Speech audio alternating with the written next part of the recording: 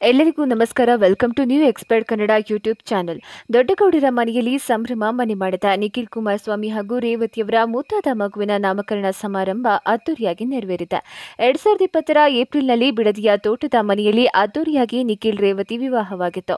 ಎರಡ್ ಸಾವಿರದ ಇಪ್ಪತ್ತೊಂದರ ಸೆಪ್ಟೆಂಬರ್ನಲ್ಲಿ ರೇವತಿ ಮುತ್ತಾದ ಗಂಡು ಮಗುವಿಗೆ ಜನ್ಮ ನೀಡಿದ್ರು.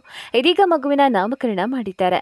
ಜೆಪಿ ನಗರದ ಶ್ರೀ ವೆಂಕಟೇಶ್ವರ ದೇವಸ್ಥಾನದಲ್ಲಿ ಕಾರ್ಯಕ್ರಮವನ್ನು ಆಯೋಜಿಸಲಾಗಿದ್ದು, ಈ ನಾಮಕರಣದಲ್ಲಿ ಗೌಡರ ಕುಟುಂಬ ಹಾಗೂ ಕೆಲವೇ ಆಪ್ತರು ಭಾಗವಹಿಸಿದ್ದಾರೆ.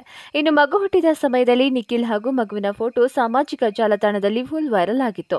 ಅಭಿಮಾನಿಗಳು ನಿಖಿಲ್ ಅವರಿಗೆ ಶುಭಾಶಯಗಳ ಸುರಿಮಳೆಯನ್ನೇ ಸುರಿಸಿದ್ದರು. ಸದ್ಯ ನಿಖಿಲ್ ಮಗುವಿಗೆ ಅವ್ಯನ್ ದೇವ್ ಎಂದು ನಾಮಕರಣ ಮಾಡಿದ್ದಾರೆ. ಈ ಹೆಸರಿನ ಬಗ್ಗೆ ಜ್ಯೋತಿಷ್ಯ ಶಾಸ್ತ್ರದಲ್ಲಿ ಗಣೇಶ ಮತ್ತು ವಿಷ್ಣುವಿನ ಮತ್ತೊಂದು ಅವತಾರ ಎಂದು ತಿಳಿಸಲಾಗಿದೆ ಅಂತ ಖುದ್ದು ನಿಖಿಲ್ ಅವರೇ ಹೇಳಿದ್ದಾರೆ.